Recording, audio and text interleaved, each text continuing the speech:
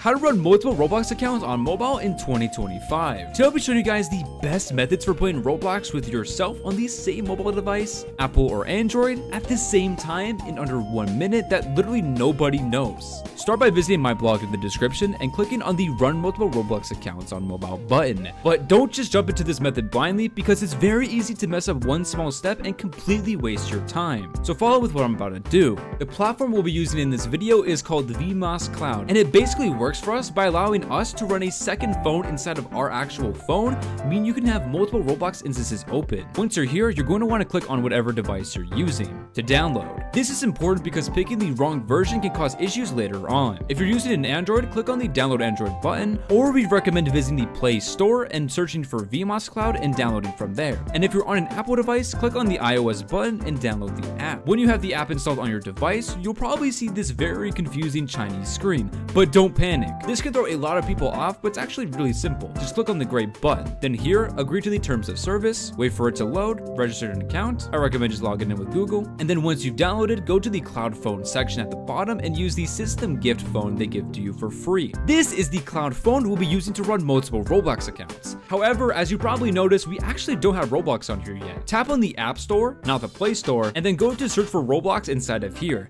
Tap download, wait for it to install, then click play on it. And then there you go, you can now play multiple Roblox accounts on the same mobile device.